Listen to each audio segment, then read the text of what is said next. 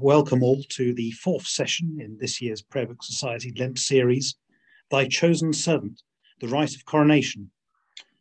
My name is Ian Milne, and I'm a trustee of the Prayer Book Society, and I'm chairing this evening's session.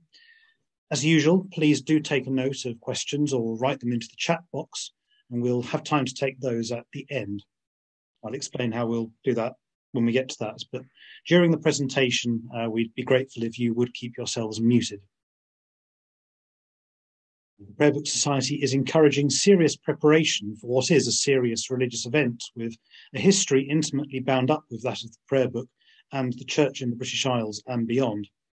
With that in mind, let us remember to pray regularly for our King, for the royal family, for the bishops and curates of the Church of England, and for all those making arrangements for his, our King's coronation and those serving in many other weighty responsibilities in the early months of his reign. Praying now together a prayer from the accession service. Let us pray. O God, who providest for thy people by thy power and rulest over them in love, vouchsafe so to bless thy servant our King, that under him this nation may be wisely governed, and thy church may serve thee in all godly quietness and grant that he, being devoted to thee with his whole heart, and persevering in good works unto the end, may, by thy guidance, come to thine everlasting kingdom. Through Jesus Christ, thy Son, our Lord, who liveth and reigneth with thee in the Holy Ghost, ever one God, world without end. Amen. Amen. We welcome the Reverend Dr. Ian Bradley for a presentation on reflections on coronations 1661 to 1953. Ian has worked for the BBC and the Times, amongst others. He was ordained in the Church of Scotland in 1990 and has written and taught extensively, serving as principal of St Mary's College in the University of St Andrews and as a professor of divinity at the same seat of learning. And since his retirement, publishing yet further works and making yet further broadcasts, including available from the Prayer Book Society shop, Save the King, the Sacred Nature of Monarchy. Uh, please do pay attention to the talk rather than turning straight to purchase your copy if you don't have one already. Without further ado, Dr. Bradley, uh, please do begin your talk. We're very much looking forward to hearing what you have to say.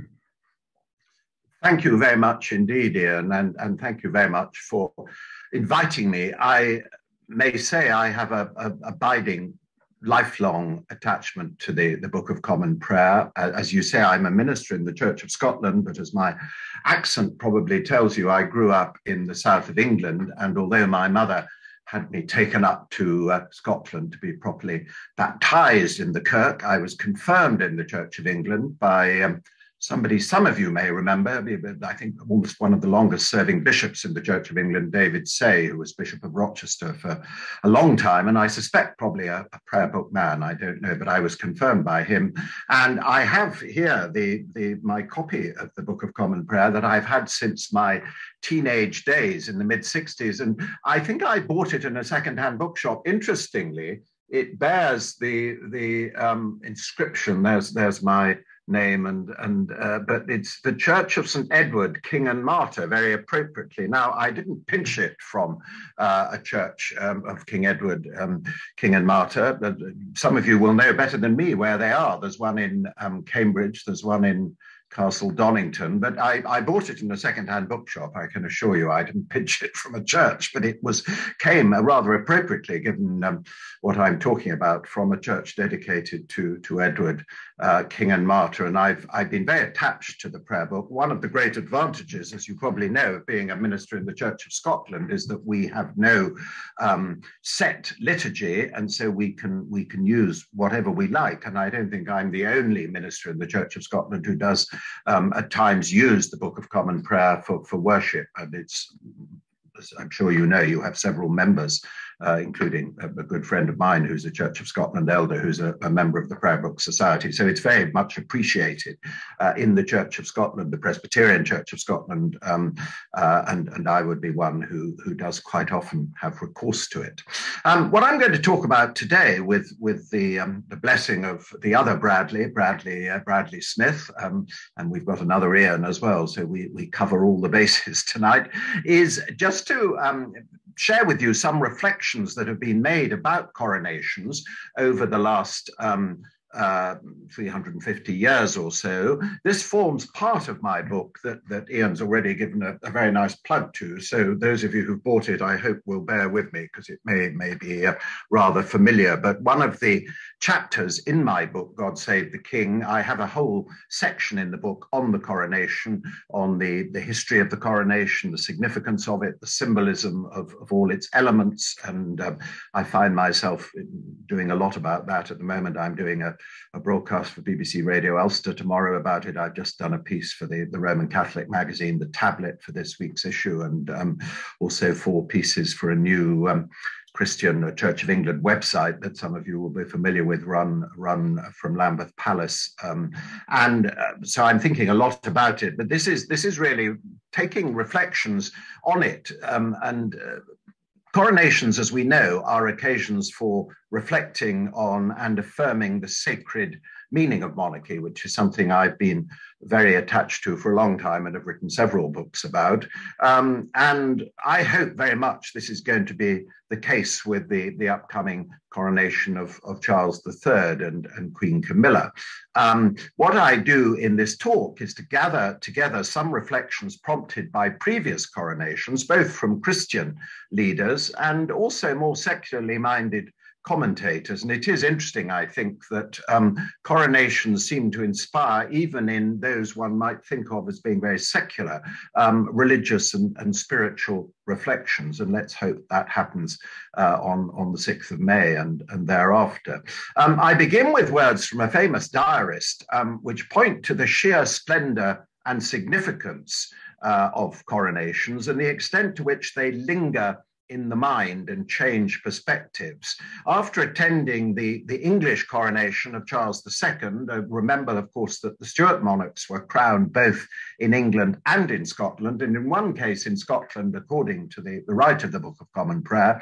But this was after the English coronation of Charles II in 1661. He had a much earlier Scottish coronation in Scone, where he was subjected to a three hour Presbyterian sermon.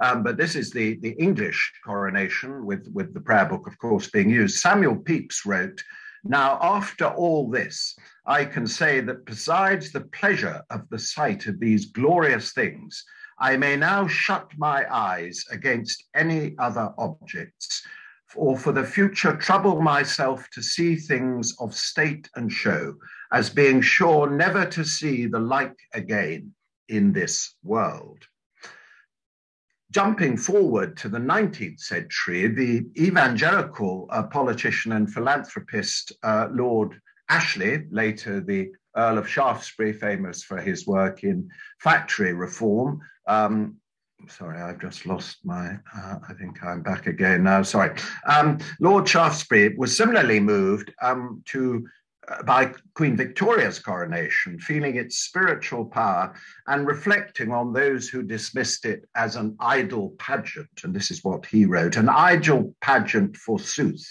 as idle as the coronation of King Solomon or the dedication of his temple. The service itself refutes the notion, so solemn, so deeply religious, so humbling, and yet so sublime. Every word of it is invaluable Throughout the church is everything, secular greatness, nothing. She declares in the name and by the authority of God, and almost enforces as a condition preliminary to the benediction all that can make princes wise to temporal and eternal glory. And then looking ahead to the coronation that never was, the a coronation uh, that was going to be for Edward VIII in 1936.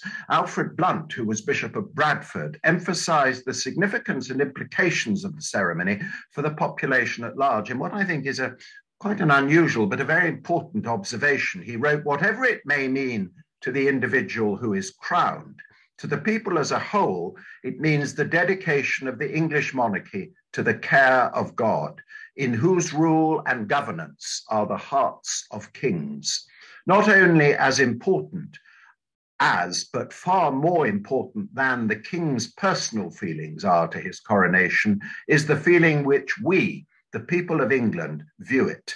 One part of the ceremony is to fill it with reality. Our part, sorry, of the ceremony is to fill it with reality by the sincerity of our belief in the power of God to overrule for good our national history, and by the sincerity with which we commend the King and the nation to his providence. Are we going to be merely spectators or listeners in, as at any other interesting function, with a sort of passive curiosity? Or are we, in some sense, going to consecrate ourselves to the service of God and the welfare of humankind? Very interestingly, I think the way he, he puts the whole emphasis on our popular involvement and response to the coronation. And this challenging statement about the extent to which the coronation requires popular buy-in, to use the, uh, the popular contemporary term, is unusual, though it, it, chimes, of course, with the whole idea of the coron of, of the three-way covenant between God monarch and people, which of course is there fundamentally in Israelite monarchy and very much reinforced uh, in, in our coronation and our whole understanding, of course, of, of British monarchy, that there is a three way covenant between God, the people, and the monarch. Um, in somewhat similar vein, um, I suspect I wasn't the only person, and probably many of you who are present here, to preach a sermon in the aftermath of the death of our much loved and much mourned late Queen, suggesting that the best way that we could honor her memory and express our appreciation of her was to dedicate ourselves to that kind of stoical, sacrificial, ungrumbling, and unfussy service which she displayed throughout her reign more common than that, that reflection by the, the Bishop of Bradford in 1936 about, as it were, our involvement, more common have been reflections on the consecration and dedication of those being anointed and crowned. This is how the Times expressed it uh, in its leader on the day of George VI's coronation in 1937. Nothing is heard nowadays of the divine right and not since the last of the Stuarts, Queen Anne, has any sovereign of England been credited with the magical touch for the cure of the king's evil. Yet, seeing the king thus exalted at this most solemn moment above common humanity, the mind's eye may catch beyond all the pomp another vision. It is the vision to hush the enthusiasm, but only in order to deepen the feeling of loyalty and turn goodwill into prayer. The king is on his way to be enthroned, indeed, and acclaimed. The trumpets will sound, and the people will cry out, God save King George. But he is on his way also to be consecrated, to be dedicated. Once that is done, he is no longer an ordinary man, he is a man dedicated something that I make a lot of in my book. As we know, in a sense, the most sacred, solemn, important part of the coronation will be the anointing of King Charles and of his uh, the Queen Camilla, uh, going right back, of course, to the anointing of King Solomon. We will hear the choir singing Handel's stirring setting of Zadok the priest and Nathan the prophet anointed Solomon king. And the Times leader in 1937 went on to discuss the primal pagan idea of the ritual sacrifice of the king. In the modern world, it said the king is dedicated to a harder sacrifice. Day in and day out, for his people, he must live. The more closely the burden of kingship is looked at, the more impossible does it seem that any man should bear it, unless he were sustained and fortified and inspired by the spiritual power conferred on him in Westminster Abbey today. For its leader on Coronation Day 1953, the Times returned to the primal image of the monarch as the incarnation of his people, a phrase used by Archbishop William Temple in connection with the coronation of George V, while also reiterating the point that Bishop Blunt had made um, about the participation of the entire population. This is what the Times wrote on Coronation Day 1953. Today's sublime ceremonial is in form and in common view a dedication of the state to God's service through the prayers and benedictions of the church. That is a noble conception, and of itself makes every man and woman in the land a partaker in the mystery of the Queen's anointing. But also, the Queen stands for the soul as well as the body of the Commonwealth. In her is incarnate on her coronation day the whole of society, of which the state is no more than a political manifestation. She represents the life of her people as men and women, and not in their limited capacity as lords and commons and electors. It is the glory of the social monarchy that it sets the human above the institutional. Sorry, I've got a rather um, in, in, in, indistinct visual aid here, which is uh, a model of our late Queen uh, sitting on um, King Edward's throne, St. Edward's, St. Edward's throne, of course, built by Edward I, with the Stone of Destiny below it, um, holding up the, the rod and staff with which, of course, King Charles will be invested. Some of many of you will know this rather wonderful Britains set of um, figures representing the, the 1953 coronation. One hopes there might be a, a set produced for the coronation of King Charles. I haven't heard anything about it yet, but perhaps some of you have. Now, there is a danger, obviously, in over spiritualizing the coronation and using somewhat hyperbolic language about its significance. On the day of Queen Elizabeth's coronation in 1953, Geoffrey Fisher, who was the Archbishop of Canterbury then, solemnly announced that England had been brought closer to the kingdom of heaven. And another senior cleric de- uh, declared that it was a miracle that might save civilization. Um, the, the, prominent humanist and socialist journalist Kingsley Martin was probably justified in observing that extravagant views of monarchy are usually expressed at coronations. Um, other secular commentators criticized the 1953 coronation for being altogether too religious in tone. Um, in his trenchant attack on the monarchy in general and the Queen in particular for being totally out of touch, uh, published in 1958, John Grigg, newly ennobled as Lord Altrincham, complained that the coronation had emphasized the priestly aspect of her office and the ensuing period had she'd continued to appear more sacerdotal than secular. Um, and there, there, were others, of course, who made the same point that it was altogether too religious. The sacerdotal emphasis had been too much, and and um, John Grigg, of course, famously described the Queen as, as being altogether too too um, sacerdotal and serious. But actually, in general, it's very interesting that journalists um, and authors writing about the last coronation in 1953 actually tended to acknowledge and welcome its sacred character. Uh, the former Times religious affairs correspondent, an old colleague of mine when we were both on the Times and subsequently columnist for the Daily Telegraph and the Tablet, Clifford Longley, said the coronation of our Queen was an act of God performed by human hands, and the assembly held its breath at the mystery and wonder of it. It was one of the central acts of statehood, the moment whereby all temporal authority in the realm flowing from the king was legitimized and sanctified. This is the doctrine of Christian kingship. And perhaps more surprisingly, the somewhat cynical and world weary Jeremy Paxman found himself in his book, which some of you may have read, his book, 2006 book on royalty, acknowledging and affirming the religious character of the coronation and its testimony to the essential sacred nature of monarchy. And this is what Paxman wrote, perhaps not what you'd particularly expect um, from him. The ceremony's function, he said, is to knit together the elements of acclamation with the fact that the monarch is already king or queen simply because his or her predecessor has died.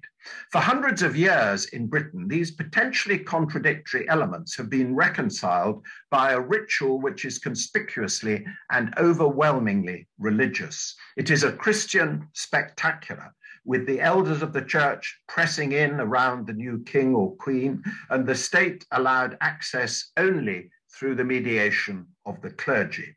The echoes of the Christ story are not merely implied, but explicit, which is why the only appropriate setting for the ritual is a religious one. Without it, the coronation would be a meaningless piece of civic theatre. And Paxman goes on, cold reasoning says there is no reason why a king should not assume office in a ceremony shorn of religious ritual and anachronistic flummery. And of course, one might point out here, as I do in the book, we are the only country left uh, which has a monarchy which still has a coronation. All the other European monarchies have abandoned coronations. The last to do so was Norway, which still has a religious service of blessing in Nidaros Cathedral in Trondheim, but it does not involve a, a, crowning or an anointing. The regalia are there, but they're not, they're not actually used. Paxman goes on, an impresario who attempted to stage such an event, in other words, a non-religious uh, coronation uh, for a king, would find himself having to address some very awkward questions. In wealthy Western societies, the idea of the sacred has been steadily impoverished ever since the Industrial Revolution.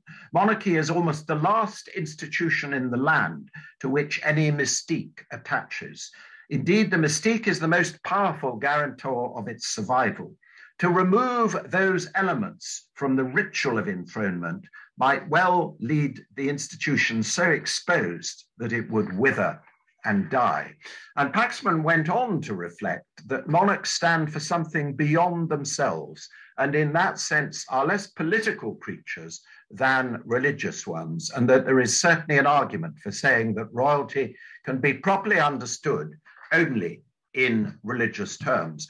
A wonderful statement. I, I could have wrote, written those words myself, and indeed, I, I, claim a tiny little bit of credit. The, the only conversation I had with Jeremy Paxman was when I had preached before the Queen at, at Crathie Church and I'd written about it. And he was very taken with this and he interviewed me. And in fact, he quotes me in the book because my point is exactly his point that essentially we need to see monarchy as something religious um, rather than, than secular and, and something that points beyond itself to, to, to God. And he took this on board. And I think it's, it's very interesting that somebody who we tend to think of as, as certainly in his earlier days when he when he wrote this, a, a, rather sort of cynical political commentator, is is very much on board with this whole idea of the religious sacred dimension of monarchy. Perhaps the most uh, profound and in some ways the most surprising reflections on this topic come from an academic article. Some of you may know because it's it's quite often quoted, and I've often quoted it myself, about the meaning of the 1953 coronation, which was written by two left leaning politically um, sociologists, Edward Shils and Michael Young, in the Sociological Review in 1953. And you might expect them, given their background, to be rather cynical about the religious aspects of the coronation, but far from it. For them, the coronation was the ceremonial occasion for the affirmation of the moral values by which society lives. And I quote their words here it was an act of national communion and an intensive contact with the sacred. And their argument was based in part on their observation of the coronation's impact on, on so called ordinary people. Um, they noted it was frequently spoken of as an inspiration, as a rededication of the nation. Um, the ceremony had touched the sense of the sacred in people, heightening a sense of solidarity in both families and communities. They pointed, for example, um, to examples of reconciliation of uh, between long feuding neighbors and family members who were brought together by the shared experience of watching the coronation. Of course, so many people, it's the first time many people had watched television, and, and they interviewed a lot of people and found a lot of actual examples, as I say, of, of people who had been for some reason estranged or hostile, actually coming together because of their shared experience of, of watching the coronation. Um, and they noted that the crowds lining the streets of London on Coronation Day were not idle curiosity seekers, but looking for contact with something which is connected with the sacred. Um, I think very much the same happened in the aftermath of the death of um, Her late Majesty, um, I was extremely taken by the fact that both the crowds uh, gathered to watch the, the, the, procession of, of the hearse through Scotland and then through the streets of Edinburgh and then down from, from the airport to London and then to Windsor, um, and those who were filing past her coffin in the High Kirk of St Giles in Edinburgh and in Westminster Hall, very often crossed themselves, bowed, made some essentially religious gesture. And it was very clear that those standing, as some of them did for hours and hours uh, to file past the coffin, often described themselves as being on pilgrimage. Um, I talked to some of the chaplains who worked with them and, and spoke uh, of their desire to have prayers and, and blessings. And there was a palpable sense of the sacred the sacred dimension of monarchy. Um, it's something that struck me very strongly, and I have written about, and indeed I, I write about it in the book. And these two sociologists, um, Edward Shils, who was professor of sociology at the, sociology at the University of Chicago, and um, Michael Young, who was a former research secretary uh, of the Labour Party, argued that Elizabeth II's coronation had enabled people to affirm moral values, notably generosity, charity, loyalty, justice in the distribution of opportunities and rewards, reasonable respect for authority, the dignity of the individual, and the right to freedom. And they felt that the sacred properties and charisma of the crown strengthened the moral consensus um, prevailing in Britain. They said the monarchy is the one pervasive institution standing above all others, which plays a part in a vital way comparable to the function of the medieval church, the function of integrating diverse elements into a whole by protecting and defining their autonomy. And as I say, these statements are not coming from uh, churchmen or monarchists, they're coming from left wing sociologists who are particularly struck by the, the morally cohesive effect uh, produced by the actual form of the coronation service with its language, of course, couched in the Book of Common Prayer, as you well know. It's framed in a Book of Common Prayer communion service.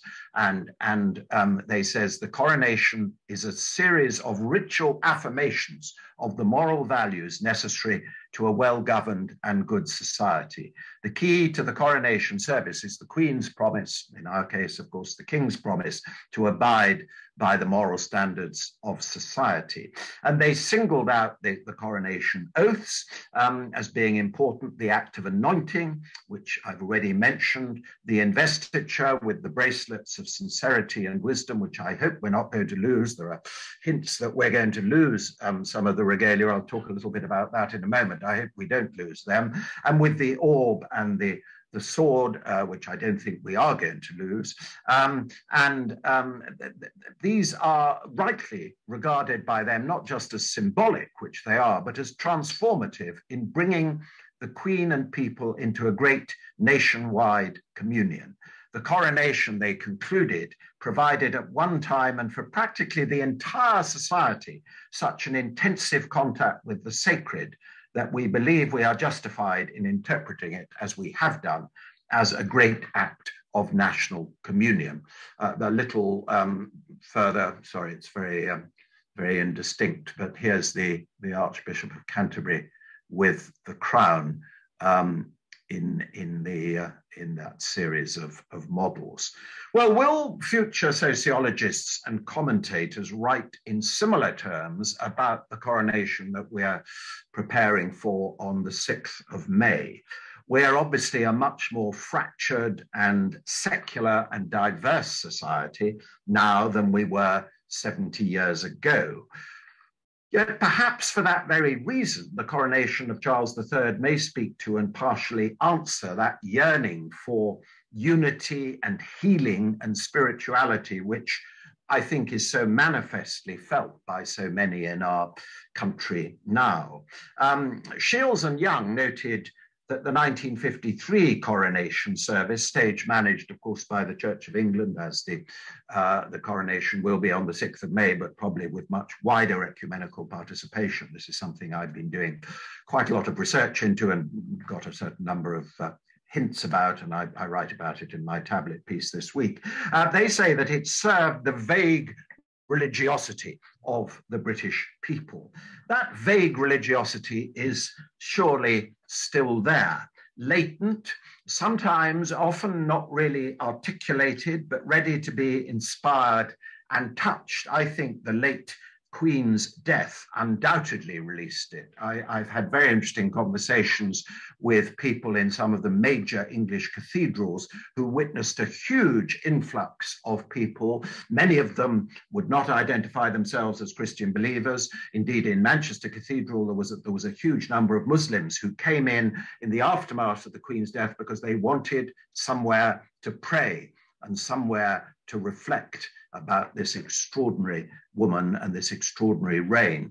And um, I think the Queen's death released uh, the, the great latent spirituality and which I think exists in the British people, not expressed in church going as, as we know, but maybe too her son's coronation will. Um, it'll it'll be very interesting to see. We don't, of course, yet have the full details of the service. We we we know what crown Camilla will be wearing. We know she's not going to be uh, flashing the Kohinoor diamond. We we know exactly who's going to be in the uh, in the way of grandchildren and who's in the procession.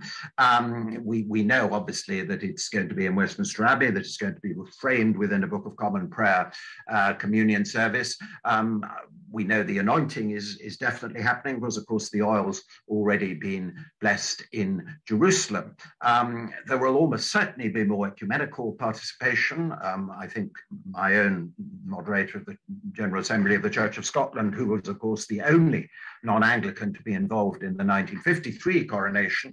Um, I think the current moderator, Iain Greenshields, will uh, have the same role that the moderator did in 1953 of presenting the Bible authorized version, one hopes, to the uh, to the king. Um, I think there will almost certainly be Roman Catholic and Free Church participation in terms of the prayers. I am predicting there will also be Orthodox participation. Uh, as we know, King Charles has, has a great affinity for the Orthodox Church. Um, and uh, he, he, of course, has already commissioned, we know, an Orthodox chant, which is going to be sung. And I would be very surprised if the uh, Greek uh, Orthodox Archbishop is, is not involved in some way. It's worth noting in passing, and I only discovered this um, last week actually when I was in Vienna from some Serbian Orthodox, that May the 6th, the day of the coronation, and some of you may know this, is the day when many in the Orthodox Church celebrate the um, feast of um, St. George. And it is the day when the monks of Mount Athos, where of course King Charles has gone on retreat on a number of occasions, celebrate the um, feast of, of um, St. George. So one just wonders if there's, if there's any significance there as to why 6th of May was, was chosen for the, the coronation. I just throw that out as an interesting coincidence, if you like. Um, I've already said we, we don't know what regalia are going to be used, um, and there have been hints, strong hints, um, that some of the, the medieval um, which some describe as anachronistic mumbo jumbo, like the armills and the bracelets, will, will not be used. Now, I would be very sorry if this happens because I think they have enormous significance. The, the spurs, they stand for values of chivalry, uh, the, the armills, the bracelets for, for valor, for justice, for honor. There are the swords, of course. Um, there are all the vestments with which the monarch is usually vested, um, which one hopes won't be abandoned. We, we haven't heard about that yet, but they, of course, point to the sacerdotal significance of monarchy and have huge significance. Um, we, we just don't know. Um, press reports have suggested that a number of rituals, including the presentation of gold ingots, will be removed. Now, not quite clear what that is. As you probably know, in past coronations, the monarch has actually made a, an oblation of gold in in, before taking communion to the altar. And maybe this is going to be abandoned, although it would seem strange, but we, we don't quite know what this means, um, or whether it's the, the, the investiture with, with armills. Um, Rowan Williams, who was involved, of course, in discussions about the shape of the coronation uh, during his time as Archbishop of Canterbury, has been quoted as saying that the Gilbert and Sullivan aspects of the coronation will go.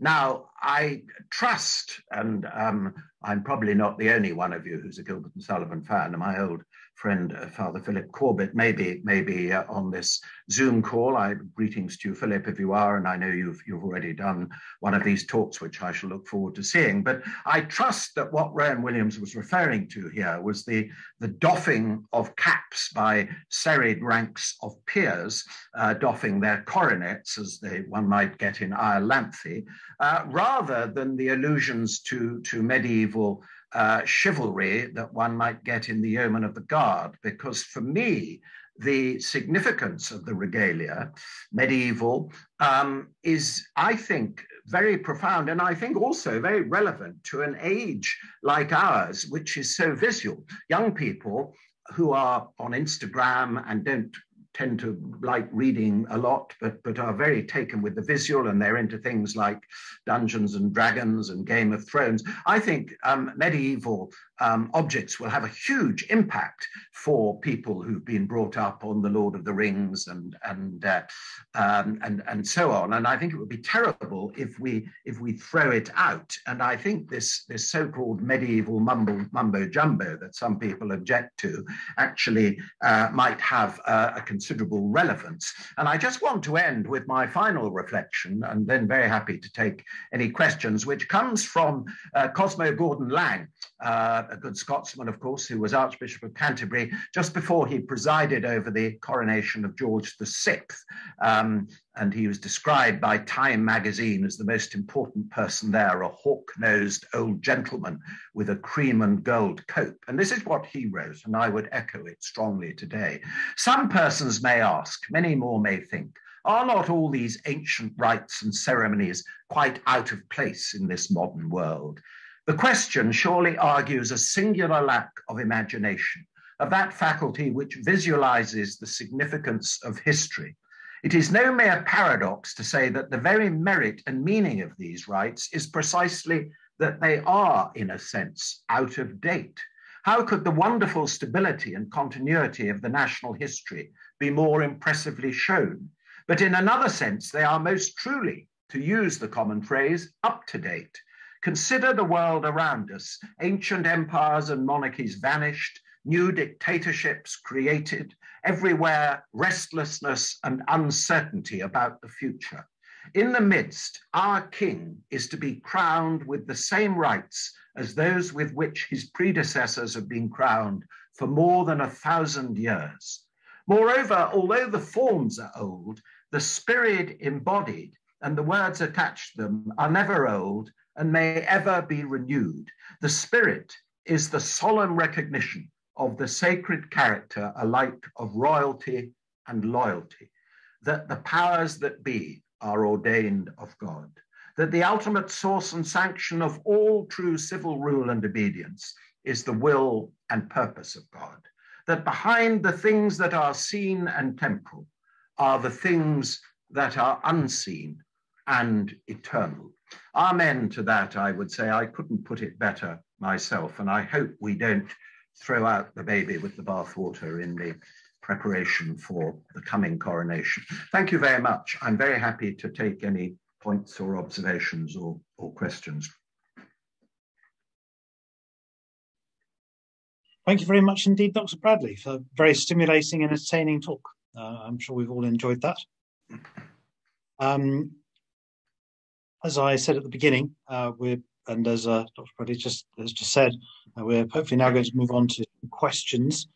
Um, if you look at the bottom of your screens, you'll be able to see a, a chat box.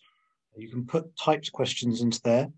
Uh, alternatively, further along the bar, there's a reaction button you can press. And if you hit raise hand, uh, a little hand will come up visible, at least to me, and uh, I will be able to call you to speak. Um, does anyone have any immediate questions? I or... can see a hand up, Richard yes, Bimpson. Yes, we've got a couple there. Right. Uh, Richard Bimpson, yes, please. You, you could uh, unmute yourself and uh, ask your question. Uh, Dr. Bradley, thank you very much for your lecture and indeed for your book, which I think is an excellent resource for those who are new to the, think, the subject and, uh, uh, um, and those who return to it.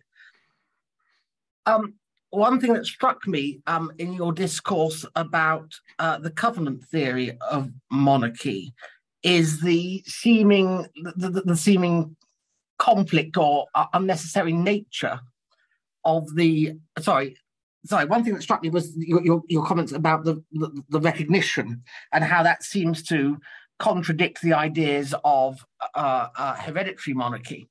Um, and i suppose one thing that occurred to me was that whilst it was uh, very understandable in 1689 why this recognition should be a, should be um, uh, should be included. It seems somewhat odd that the Stuarts and perhaps the Tudors had not got rid of it. And why was why was this? Was this just merely the fact that they thought they didn't need to reform the Liber the Liber Regalis? Um, I just wondered what you thought about that. Yeah, very interesting question, Richard. I, I think probably a bit of both that they they didn't want to, to fiddle around too much, as you say, the Liber Regali and the uh, even going back to Dunstan's order, it's almost there. They they the, the, the, on the whole, people have been extremely conservative and not wanted to change things. And I suppose the recognition, I mean, even if you had a sort of high view of divine right of kings, the recognition, I, I, don't think it necessarily contradicts a sense of hereditary monarchy to me. I mean, I believe in hereditary monarchy, but I think that the fact that, as it were, you have some kind of act of recognition is, is also important because it, and it, it, it does you know, allow a, a, kind of public acclamation and, and a public recognition of the monarch. So I don't think the Stuarts, I, have never felt that there was any sense, even, even with um, James VI and First or, or, or Charles I, of, of wanting to get rid of the recognition, because I, I think it's, it's, it's not contradicting uh, a hereditary monarchy. It's it's in some sense reinforcing it. I mean, you're not expecting someone to get up as as in a, a wedding service and suddenly say, "No, I don't, I don't want this chap as as king." Um, I mean, you're right that that post 1689, obviously the covenant theory. I mean, what what I say in my book, putting it very simply, is the covenant theory replaces divine right, um, and and that's what happens in 1689. And as you say, there's more there's more room for recognition.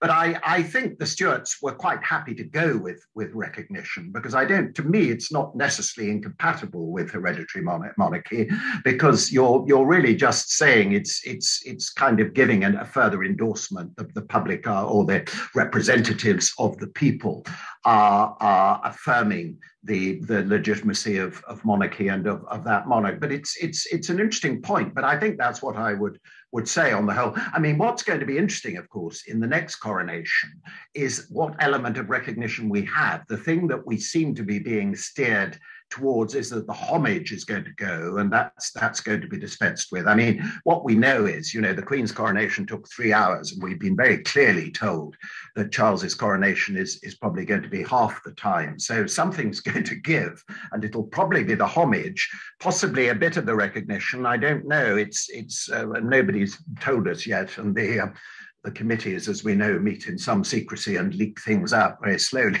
But uh, but no, I, I, I, to me there isn't there isn't a particular incompatibility between the two. Thank you.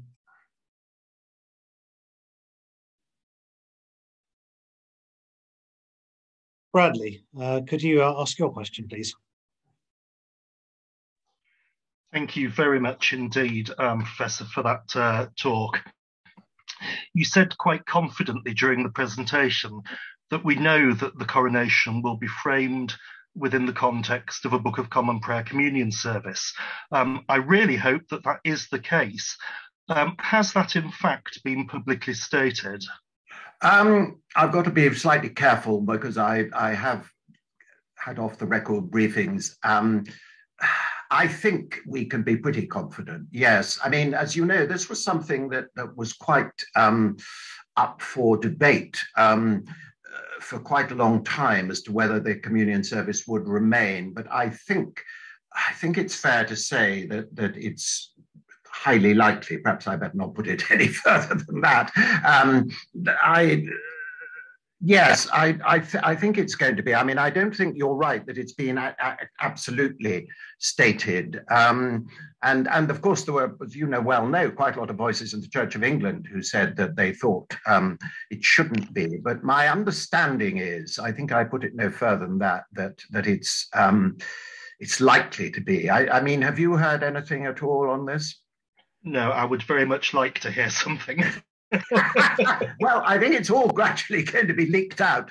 Um, uh, and and I think we'll we'll know before too long. Um, I mean, my sense is that you know we had a lot of people like me and others were making all sorts of suggestions. For example, I was very keen on the coronation, which I think it will, remaining essentially a Christian service in Westminster Abbey, but then having something in Westminster Hall, which was a more multi faith um, ceremony. Now, I and many others have advocated that, but I don't think I have a sense that's not going to happen because when when the the, the program such as we've had leaked out to us about um, what's happening doesn't seem to leave any room for that. So I don't think that's going to happen.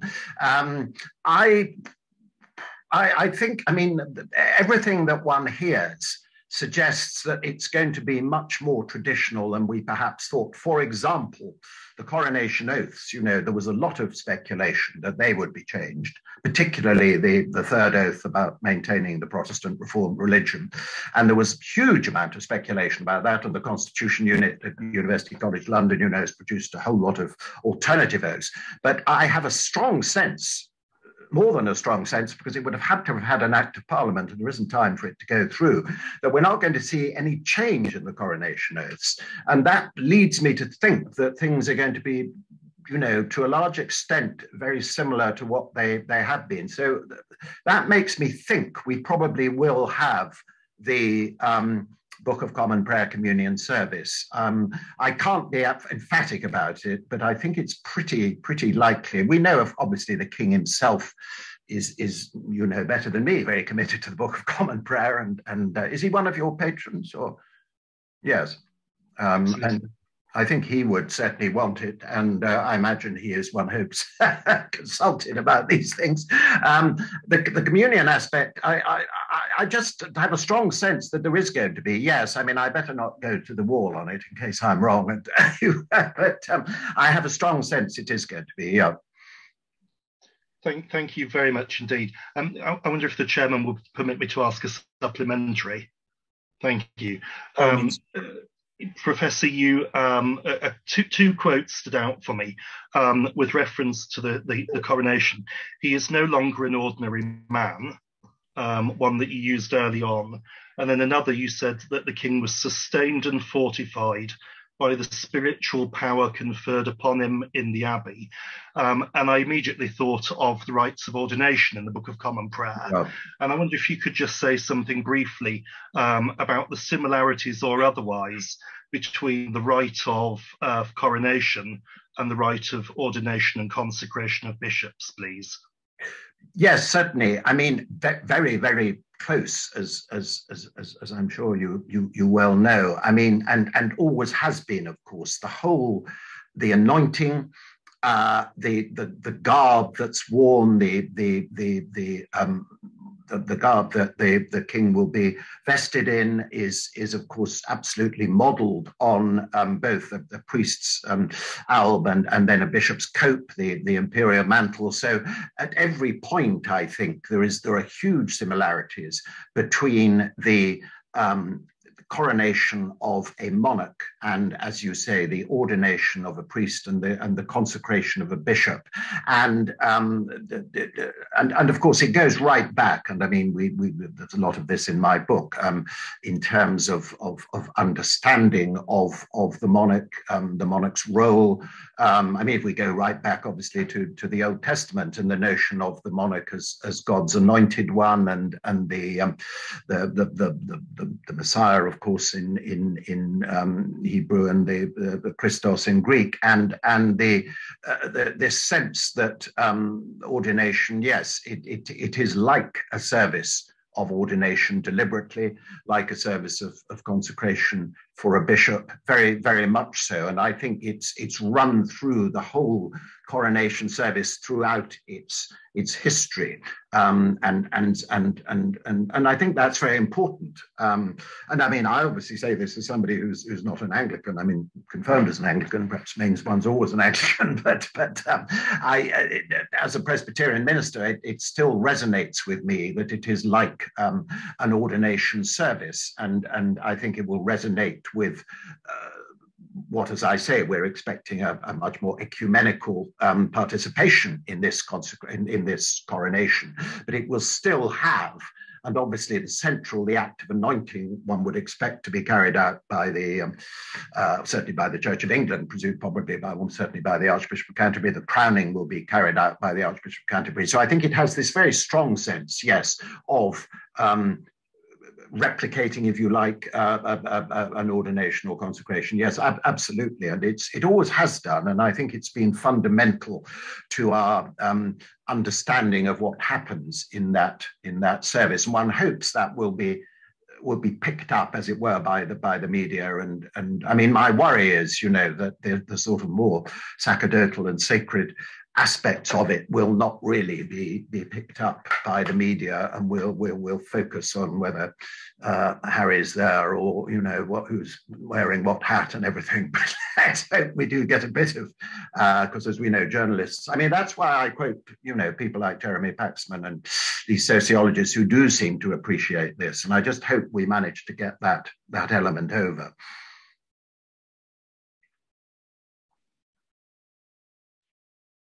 Um, following on from that question, I'll, I'll, ask my own one, which is um, basically uh, whether there is sufficient um, uh, sufficient knowledge, sufficient uh, sufficient knowledge about uh, what's going on, sufficient trust in the value of what's going on, and sufficient confidence in it uh, amongst uh, people in the, particularly people in the church who have a voice publicly. Um, you know, not all of us do have ready access to channels of communication uh,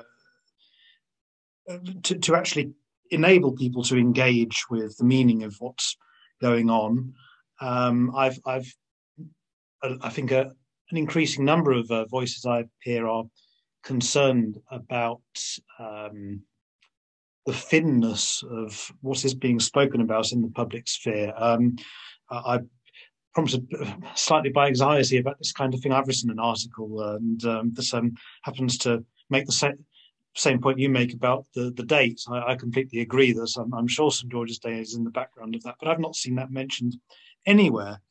Um, and um, in uh, the various news stories that have popped up about the Stone of Scone, mm. I've not seen anybody pop up to point out that uh, uh, when uh, King James travelled south, when he could very well have uh, done away with anointing in England, having already been anointed in Scotland.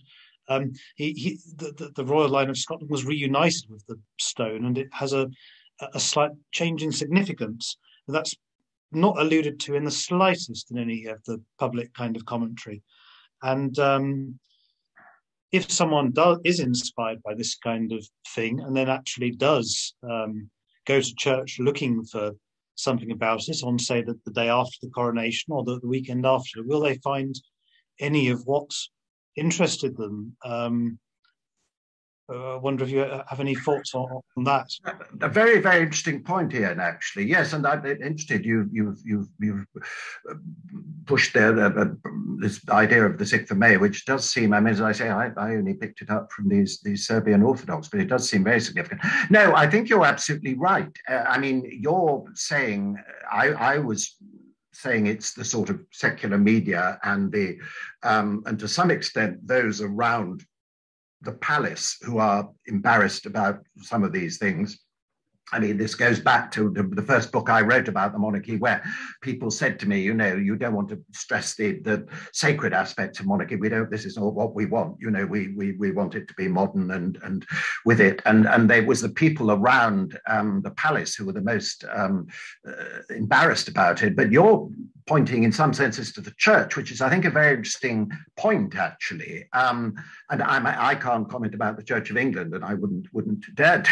but um, in our own Church of Scotland, I would say we're not. Uh, terribly good. I mean, it, it, it's probably very much like you. I mean, we the, the, the, we we had a very we had a number of very moving services. I mean, apart from obviously the one in St Giles uh, after the Queen's death, and I was I was preaching at quite a lot of them. And and um, but I I absolutely agree with you that I don't think our churches, particularly the two national churches, probably of, of my one and your one, which both have our close but different relationships with the monarch. Um, I don't think we have made enough of this, and and I think you're absolutely right. You, as you put it very well, the danger is that somebody going to church perhaps the day after the coronation or the week before the day Sunday before the coronation is probably not going to hear very much about it in the in in the, the sermons and and the service and um, that seems to me very sad um, and I mean, it obviously reflects a number of things. There are,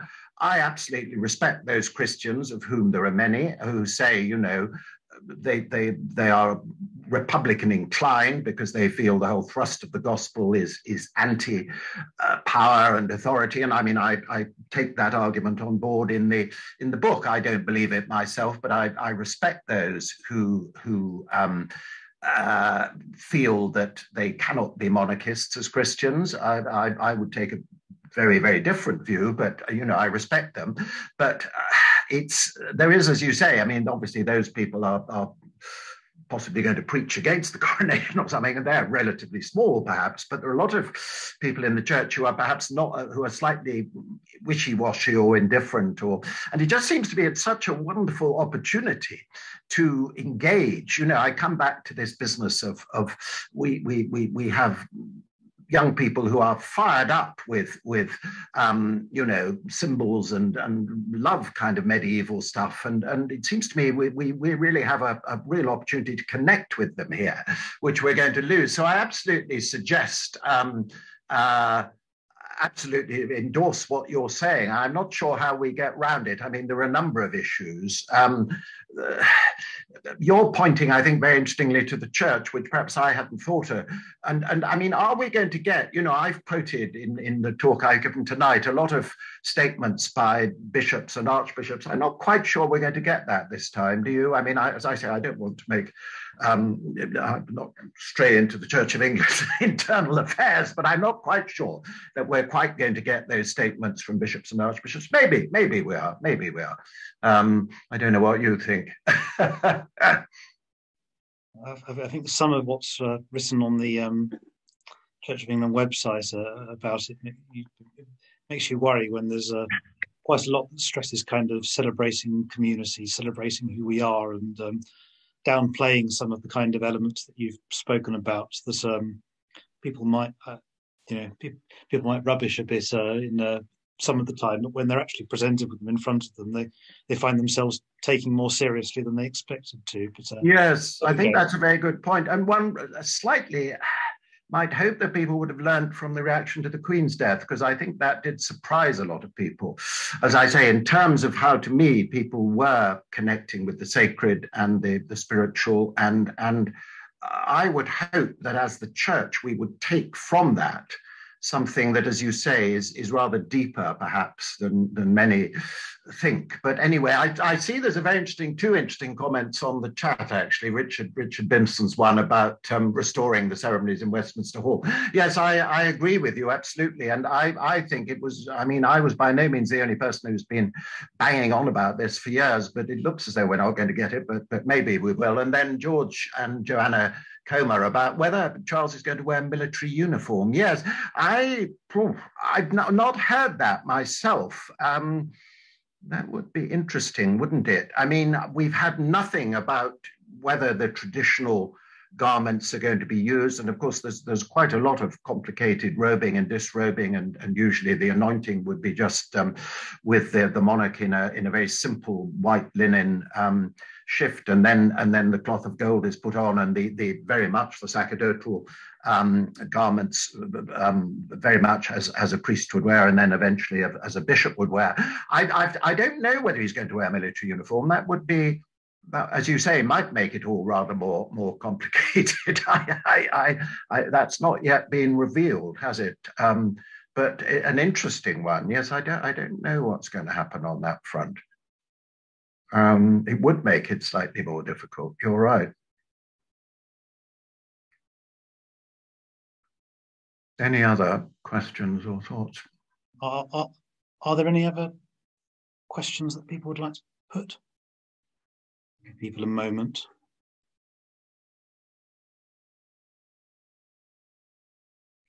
Um, I think Mr. Bimson's come up again. Here's to go ahead, Mr. Bimson. I'm allowed a second question. Oh, definitely. Yes, of course. Yes. yes. Um, I, I noted I can't quite remember exactly what you meant what you noted about it about the comments after the last coronation of it overemphasizing the sacerdotal. And I, I wondered if you could just uh, expound on that a bit more and uh, and what you thought about that and what you think we might possibly see this time and how we might, whilst recognizing the um, uh, the religious nature of monarchy, what it might say to the secular world in 2023 as well. Sorry, I missed, I think, the thrust, the, the key words. They're, not a very good line, so I'm sorry, I didn't hear. You were saying sorry. something that uh, I missed uh, early on in your in your question. Um, missed you, the key word. You said you said in your talk that, you, that, that, there were some comments after the last coronation about perhaps it overemphasized uh, the religious nature or the sacerdotal nature of the of the uh, uh, um, of the coronation, and if you could expound on that some more and what you thought we might see in 2023.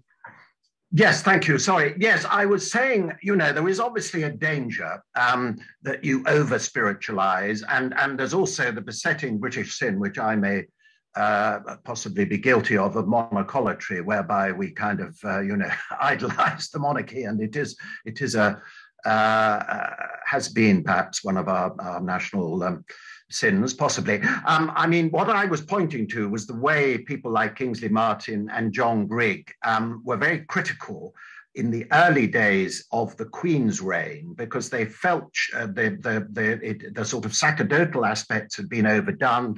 Uh, she wasn't being presented. You remember John Grigg went on about her accent and she was sort of uh, like, a, like a rather precious schoolgirl, and, and they felt that, that she wasn't being presented sufficiently in a modern way. Now, with Charles, it's very interesting, of course, because I mean, Charles, in a sense, has, through his time as Prince of Wales, identified himself with, with so many very interesting causes, many of which I would be absolutely 100% in agreement with him. But he's certainly not shirked um, controversy, and he's certainly not, um, you know, in some ways you could say he's been ahead of the, the game in, in environmental matters and in architecture and, and other things. And whether any of this is going to work its way into the coronation, again, my sense is that actually it's it's going to be very conservative, and and we're not perhaps going to see a huge change. But um, I suppose. Are we going to see that same reaction? I don't know. Um, after the coronation of people saying it was all too spiritual, I, I I don't know. It's very difficult to predict, isn't it? I mean, is there going to be as much? Are there going to be sociologists who will sit down as these two did and really analyze the, the popular mood. And I mean, maybe there will. I mean, there's a very interesting sociologist at Manchester called Sheila Rowbottom who's done a lot of work on um, the effect that royal visits have on people. And I find it fascinating because she herself is, is, is not particularly religious, but she says they, she, they use words like grace and blessing. And it's quite clear that for many people, there's something spiritual going on here. Um, now, uh, if we're going to get sociologists looking at this, it might be very good, but I just, I just don't know. Um, I mean, we're in such a different world from 1953, aren't we? And whether the coronation is going to have quite the same impact. I mean, particularly given everything that's going on um, just now. I mean, will will it just be a sort of five days wonder? Will sociologists and commentators look at it and either say it was too sacred and too spiritual and and where this is completely out of touch with a secular post-christian nation i i don't know i mean i suppose one slight fear is that the main um, emphasis may be in difference. I mean, the popular press will go wild about whether Harry's there and, and what um, Camilla's wearing and everything, and, and they'll they'll make their own sensationalism out of it, but I just don't know what. I mean, it's a very interesting question you raised there, actually, but I, I just don't know whether we will see that same sort of analysis on both sides with with with some people thinking this was all much too spiritual and and religious and and others saying um, no actually it did touch a kind of spiritual nerve a very interesting question I, I don't know what the answer is somebody else has got their hand up mr mr bird i think Brid, Brid, sorry. Uh, the, the, Reverend Dr. Michael Bryden, who's our speaker next week. We're getting a. Oh, yes, from the Isle of Man. Yes. yes. Yes. No, th- thank you very much for letting me ask a quick question. Well, it's more of a point. I was very interested in the fact the 6th of May is kept as the feast of St. George by some of the Orthodox. Of course, in the prayer book, it's a black letter day for St. John before the Latin Gate. Um, St. John the Evangelist. It's a oh, right. his yes. days. St. John the Evangelist is quite linked into all the legends of Edward the Confessor mm. which links in very neatly with St Edward's crown. I mean, you know, in case anybody's not familiar with the story, Edward the Confessor is supposed to have given a sapphire to a beggar, who then turns out to be St John the Evangelist, who sends it back. That's the sapphire which is in the imperial state crown now. I just what I think it's probably a happy coincidence, but I did think perhaps something could be made of that to bring across, you know, the spiritual significance of the coronation. That's extremely interesting. No, I hadn't. I hadn't thought of that actually. Um, that's that's a very interesting point. And as you say, would it nice to have that link with Edward the Confessor? I think that would be um, that would be well worth bringing out. Again, I don't know how you get it into the into the public prints. It's going to be difficult enough getting St George in, and St George is, is, is a bit more sort of central. But that, no, that's a fascinating point. I, I hadn't picked that up. Um, no, very interesting. And of course, I mean, you, I think it was you, Ian, who was mentioning the Stone of Scone and um, the connections there. I mean, again, there's such a rich backstory there. Whether I mean, however one, however much of the legend one wants to take, but it's wonderful stuff. And um, uh, you know, again, one feels. I mean, I've just done a very long piece for our Church of Scotland magazine because there's obviously a lot of interest in it in Scotland. And I mean, I hope we're going to let it out. Of course, as you know, Alex Salmond has said he doesn't think that Scotland should release it until it's independent. But I don't think that's, uh, I don't think he's going to be um, in charge of it. But um, no, I mean, there's a lot here, isn't there? Because what you've just brought up about the link with John the Evangelist and, and Edward the Confessor, it's a very rich area. And uh, one feels people would be interested in these sort of things, but but how one gets them out, and and I think it goes back to your point, Ian, about in the church, are we sufficiently uh, interested in it? I, I I just don't know. I mean, I think many are, but but the trouble is many are probably not, and it's it's it's tricky. But no, that's a very interesting one. Thank you for raising that. Hopefully, through these uh, talks and uh, uh, our other activities, we're doing something to mm. encourage some conversations about that. I hadn't, I, would noted about the, uh, the, the, the, the, St. John date, but I hadn't noted the, uh, the, the, link to the, the legend of St. St. Edward. I, I love that. No, that's a wonderful one, actually. Um, I mean, you feel there are a lot of local opportunities, don't you, with with so many of our kings and and saints and and uh, that that local churches and local communities. But maybe things are are happening. I, I just don't know. Again, I'm afraid. Um, you know, Scotland is not as monarchical a nation as England is. so you're probably doing rather more than we are. We have to battle with a certain amount of uh, Republican sentiment, although although there are there are plenty of uh, royalists around, and there are those who are interested in the spiritual and the sacred dimension. But I, I just wonder whether there are local um, things happening with local churches and churches which are associated with Edward or Oswald or, or um, um, any of the, those many, many very interesting Anglo-Saxon kings and and and um, and maybe even with the Stuarts as well. I mean, I don't know. Uh, we haven't uh, we we have had one one mention of the Stuarts, but I don't know if any of the king there the churches dedicated to Charles King and Martyr are, are represented here tonight. I used to know the one in Tunbridge Wells, but um, I don't know if if they're doing anything. Nobody's coming clean on this. although I, although I, I imagine I think Joanna Comer has uh, put in the chat uh, the suggestion of a. oh, sorry, yes, telegraph. telegraph. From, yes, yes, you could try that. I, I think that probably is part of it that we should all be encouraged to speak up ourselves because I think if we wait for prominent commentators and archbishops to do it for us, we'll, we'll be we'll be waiting a long time, um, and there's no reason that we can't get our pens out and our typewriters out and, and, and so on. No, um, I think, yes, I think that's a very good point. I mean, I'm writing away um, as much as I can about it, and um, I think there are more serious commentators, aren't there, that, who might. I mean, the trouble is that, as we know, when it comes to the actual coronation, it'll be Giles Brandreth or someone sitting with uh, Huw uh, Edwards, and so you won't be getting a particularly spiritual spiritual take on it. I think, um, but um, one one lives in hope that. Um, as you say, the more the more serious parts of the press and and the BBC might might pick up some of the um, um, I mean, I thought they did pretty well actually with the Queen's, the, the services, particularly the services around the country after the Queen's death. I mean, the one that particularly impressed me, I don't know if there's anyone from Wales here, from the church in Wales, but the service in Llandaff Cathedral, I found the most moving of all the, the services after the Queen's death.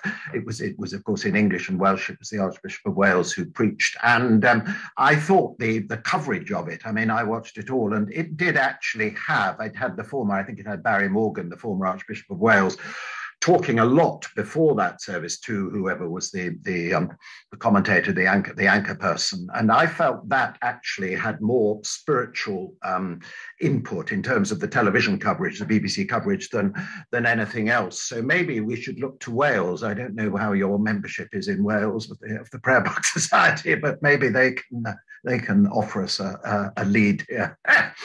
We, we, do we do have some. We have members, uh, I, I, think, probably even on this call, and certainly usually on these calls, we've had people from uh, across the British Isles and far beyond. Um, I, I, yeah, I, I have a. I noticed yeah. you've got a, a, special edition of the prayer book coming out, haven't you, with with the prayers for King Charles? Is that right? Um, the, the, the, just the, the regular the prayer book is, has been updated with the uh, yes, it's been updated and so yes. on, and uh, that's available through the Prayer Book Society website and uh, and other less reputable sources. Um, so it's a, as as it were, it's a new printing of it, is it? Yeah. Yeah. Yes, no, that's very good. I mean, one of the issues, of course, as, as you know better than me, is of course there's no coronation service in the prayer book, um, and and this has raised some questions when I've talked to people about you know whether the, the prayers will be the same as they were in 1953, or whether we're going to see a rewriting of the of the actual prayers, because obviously the only thing that would be taken from the Book of Common Prayer is essentially the communion service, isn't it? Well, I've I've actually um, for my own little article on uh, on, on the Book Society website, which uh, tries to address that because uh, there have historically been um, more elements, at least, uh, but principally the communion service, but also the uh, the the Veni Creator Spiritus. Yes, the Veni Creator. Yes, yes. And, the, the Te Deum from Matins, and um, yes, um, the litany historically preceded uh, the, the, the, the latter parts of the service, and we're Prayer Book Society is encouraging people uh, across the country to make use of the litany in the run up to the uh, coronation, and uh, hopefully it will be said or sung in the abbey on the day. Uh, obviously, like, like, everything else, we have we have no better information than anyone else. You probably know better than us, Dr. No, well, I, I no, I don't know about that. That's an interesting point. Yes, I I'd not sort of thought about that. I mean, you haven't had anything to do with this little book that's been produced for daily prayers, have you? If only. Although we would take this opportunity to, um, so if you go to the Prayer Book Society website uh, under the, um, uh, the, the, the bar uh, for resources, there is a bar coronation and uh, if you look there, there's a whole range of things that we've put out, uh, resources in word in word format for people to adapt adapt for services in their own churches. This video series, uh, this talk will be on, on on that page hopefully tomorrow, um, and further links, uh, including to various articles previously published by the Prayer Book Society, uh, my own little article, and uh, a few other bits and bits and bobs and links to external sources. So um, hopefully, although people might not find the most confident material sitting on the Church of England website. They they, they can find some um, some useful material on our, on our on our website. Oh, that's no, that's good. No, I, I just wondered if you'd. Um, I mean, I'm I'm going to use these prayers myself because they're quite good the way they run through from uh, Easter Day till um, till the day of the. But as as you say, they're very they're short. They're certainly not from the prayer book, are they? They're they're. Um... There's a there's a handful of prayer book prayers. Oh, there's some, aren't there? Yes, sorry, there are some. I mean, I haven't really studied. Principle is right, but they've just as they usually do. They've they've left those of us who uh, uh, worship in the in the prayer book tradition to um, uh, find our own equivalents rather than uh, yes. providing very much. But as with the, all of these questions, I think we can't expect to have things given to us on a plate, and we need to be encouraged to uh, do things ourselves. And, uh, yes, yes, I think you're maybe right. That's not, maybe that's not bad for us. No, no, and I mean, uh, as as as we've said, uh, the king himself, I think, is is a is obviously a very good friend to the prayer book, and one would, I would certainly expect that to be reflected in the coronation service. I see. So sorry, somebody's come on for Felicity saying Tunbridge Wells is represented. So whether you're from the Church of Charles King and Martyr, I don't know, but um, but no, that's that's very good. But it's no, I mean, I think. Um, as you say, what what what is going to precede it in terms of church services is a is a very interesting point that you've really made very well, Ian. That um, we ought to be, and maybe we are, kind of building up to it. Um, well, I mean, you are very clearly with with these. Um, uh, with these seminars and uh, with the prayers you're offering, but one one just wonders how many churches up and down the land are, are going to be kind of um, looking forward to it. I, I, I, just don't have a sort of sense of that at the moment. You probably do more than me. Um, we, we, we, hear various positive things, but I think there's a lot of work to do to encourage pe- people uh, in this. I'm just putting into the chat the link to the uh, Prayer Society coronation resources. I probably should have put that in earlier, but uh, oh, thanks. Yes, one gets that through your website. No, that's very good there's, there's quite a lot there, and, and, that will be being added to. And we're encouraging everyone, anyone who does become aware of things happening in their area, uh, using the prayer book in any form, to uh, to let us know about this, and um, we'll publicise a selection to give a, a, bit of a flavour of what's what's what is what, what is happening. And um, um, it's been um, very very helpful to have your your talk this evening, Dr. Bradley. Um, a, a, lot to be uh, encouraged by, particularly your comments about the communion service. And um, well, yes, don't as I say. No, no, we, won't, as, we won't hold you to as, I'm not uh, sure it's it's, uh, but I I I reasonably confident. I think that it is going that is going to remain. I think yes. I mean, we should. I think we're going to know roughly around Easter time what what what the structure of the service is. But I I think I think we can be reasonably confident. Yes. Yeah. One rather hopes also, sorry, I, I, won't keep going on, probably want to wrap it up. But I mean, the other interesting thing will be if we get back to this sort of sense of the public domain, and if we get phrases from the prayer book um, used more in, in, in articles, and, and I mean, it's still there, isn't it, in the public consciousness? And um, it would be nice to see echoes of the prayer book in some of the writing about, I mean, um, I quote something, I think, well, I quote a number in, but I mean, the, the, the you'll know it better than me, and I'm going to get it wrong, but um, godly uh, kings, princes, and governors, is that right? Uh, yes, that's the phrase. I think, I think um, I use it actually when I'm when I'm Christian kings, princes, and governors. Christian kings, yes, Christian kings, princes, and governors, and and it'd just be nice if if sort of phrases from the prayer book are dropped into um, uh, the the sort of discussion and and um, analysis, wouldn't it? I mean, it's and, and, obviously that's one of the things you're you're you're really existing to do to to keep it um, before us, and and there's wonderful resonant phrases in in the sort of public consciousness, which I think they still are. Do you do a lot with schools?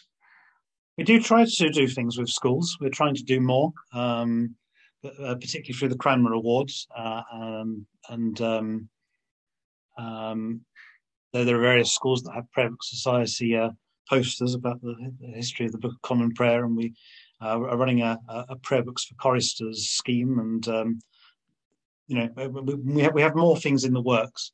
Um, we would like to do to, to do more, and um, we'll be looking to do more in, uh, the coming years. So hopefully, yeah, uh, uh, as as with a lot of these things, I think possibly in the past we've one, one can lament a great deal that the national authorities don't uh, push the prayer book more. But um, uh, whilst one can continue to lament that a bit, we need to um, yeah. doing things ourselves to an extent, and uh, it will um, it will grow because of its inherent strength and because it's so rooted in um, in, in, in, scripture and um, points towards truth. Yes, no, and it's. I mean, are you? Is there a sort of comparable society for the authorized version of the Bible? I've never come across. No, no, no there is. I mean, isn't it? Interesting point. This uh, in the um, earliest days of uh, the Prayer Book Society, there was a proposal that uh, the society would cover the authorized version, and it was actually uh, partly on the advice of uh, Geoffrey Fisher, the former Archbishop of Canterbury, mm. came to focus on the on the prayer book specifically, and I don't think anyone has ever made an authorized version of society. No, that's it's curious, isn't it? Because I mean, there's a lot of interest in the authorized version in Scotland, partly, of course, because James VI initiated discussion about it in Burntisland um, Parish Church, which is currently threatened with closure, which is very worrying. But I mean, I, I lecture, for example, regularly to um, students who are not divinity students, but they they are just very interested in in the the whole origins of the authorized version and its impact on obviously on on literature and and you know in a sense you can't understand english literature without knowing it and you could say a bit the same about the prayer book. And it, it just strikes me that um, if you somehow got together i mean the, the, the, there seems to me to be a huge amount of interest in the authorized version of the bible whereas the prayer books is presumably largely an anglican thing although not entirely but um, the authorized version is is as I say, I mean, and, and, certainly in the Church of Scotland, there'd be a lot, lot of us who would still use it, and it's um, uh, very much loved. And and I, I, just wonder if there's the sort of mileage in in combining the two in a sense. Well, I, I certainly hope that the authorized version is also is again used in the coronation as it has been yes. in previous coronations, as is the pattern in the uh, prayer because obviously that was one of the things that was updated, uh, not the Psalms, but uh, the, mm. Gospels were all updated in 60 and 62. Um, yeah. uh, I'm, I'm, I'll, I'll, come back to it, but I'm, I'm concerned to hear about uh, Burntisland Church. Some of the, I'm sure they won't do anything to the church, but some of my ancestors are uh, buried there. Really? Yes. No. Well, I'm I'm sorry to say we have an absolutely horrendous policy at the moment in the Church of Scotland of getting rid of forty percent of our churches were 40% in Fife. I've just heard today, actually, in, in Inverness Presbytery, 60%, um, and, and huge numbers of historic. I'm on a committee which is trying to save them, but Burntisland is one of the ones that's scheduled for closure now. And as, as you well know, it's a wonderful church. And, uh, wonderful. And no, it's, very it's, important part in the, you know, in the history of um, uh, Christianity in um, absolutely these islands because of the, yes. the, the uh, yeah. No. Anyway, that's a separate point, but it's it's a rather sad no, to end on. But I, I well, I, it, I, I will uh, wrap up at the point. But um, you know, there's a lot to a lot to be encouraged by. There's a lot to pray about as well. Indeed. Christianity in these isles and uh, our attention to the, the well springs of uh, faith and our ability to communicate about it. And uh, um, hopefully, the coronation, one way and another, will be some stimulus to uh, to, to, to, that. Uh, thank you very much for your. your no, your thank you very much. No, it's been great to have you here this morning. And uh, I hope that uh, many of those who have persisted with us uh, to the end of this uh, talk um, will be joining us again, and those who are watching afterwards for next Wednesday's uh, talk, the final in our one in our series from Reverend Dr. Michael Bryden, who we heard speaking earlier. Ah, yes. his talk will be on the coronation and the Bible.